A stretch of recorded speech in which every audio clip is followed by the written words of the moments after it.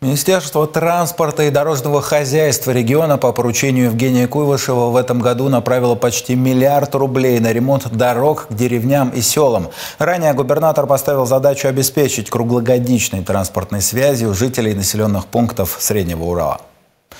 Также улучшает транспортную доступность небольших населенных пунктов, помогает реализация нас проекта «Безопасные и качественные дороги». В его рамках благоустройство проводят там, где есть соцобъекты.